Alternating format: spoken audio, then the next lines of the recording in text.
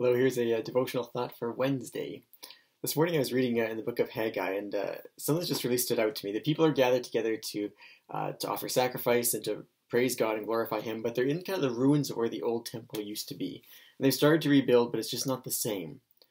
And the prophet uh, gets a word from the Lord and shares it with the people.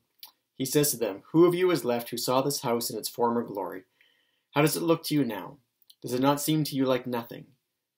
But now be strong, Zerubbabel, declares the Lord. Be strong, Joshua, son of Jehozadak, the high priest. Be strong, all you people of the land, declares the Lord, and work.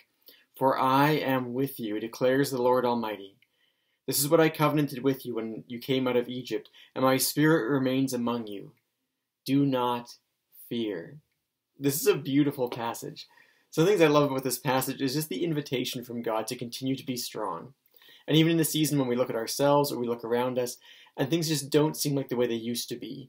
Things just seem so small or so diminished. It just seems kind of like nothing in comparison to what we used to be able to do or to be. The word of the Lord continues to come to us and say, Be strong. Continue to pursue me. Continue to dive into all that I've invited you into. I love this idea. Be strong and work, for I am with you, declares the Lord. My spirit remains among you. You do not need to be afraid.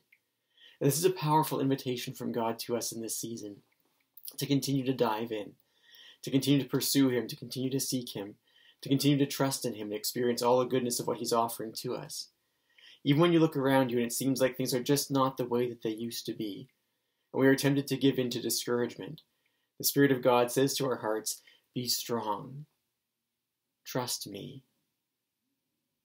Even through hardship, God will do something powerful and something beautiful. Later on, he pronounces the people, the, the glory of this present house will be greater than the glory of the former house. He's doing something amazing. He's doing something powerful and deeper and richer.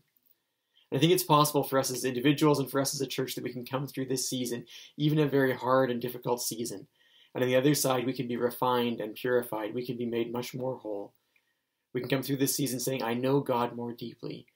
I've experienced Him more powerfully. I'm more personally committed to Him. I long for Him so much more. I've seen the work that God has done in my life, and I have personally invested. I have personally pursued Him. I, I've done what this passage has called me to do. I have been strong. And I have worked, I have pursued Him, I've given attention and focus and desire into becoming more like Jesus.